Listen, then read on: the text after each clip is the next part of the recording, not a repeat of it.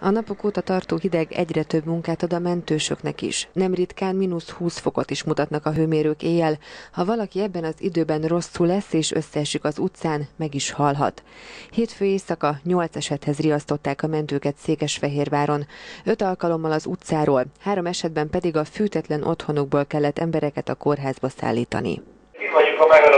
A kéklámpás szervek ezért arra kérik a lakosságot, ha éjjel padon vagy földön fekvő embert látnak, vagy ismernek olyanokat, akiknek nincs lehetőségük otthonukat kifűteni, azonnal értesítsék őket hívjunk mindjárt mentőt, rendőrt, bármiféle segítséget, és amíg a segítség meg nem érkezik, igyekezzünk lehetőségekhez képest vagy árnyékos helyre vinni, tehát nem maradjunk ki a szélbe, illetve melegen betakargatni. Hozzáteszem, hogy ez néha nehéz dolog, mert azért azt is kell tudni, hogy az, ezeknek az embereknek, főleg a kint parkokban van, egy jó része lehet, hogy nem is száraz ruhában van, tehát vizes ruhában fekszik, az pedig köztudott, hogy, hogy a vizes ruha az tovább hűti a testet, tehát meggyorsítja a lehűlésnek a folyamatát.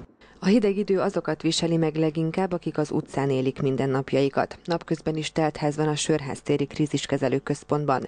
Itt meleg étel és fűtött helység várja a hajléktalanokat. A nappali melegedőn és az éjjeli menedékhelyen túl nemrég egy kontinert is megnyitottak, így plusz 8 embernek tudnak éjjelre menedéket adni. Összesen 72-en tudják itt átvészelni az éjszakát.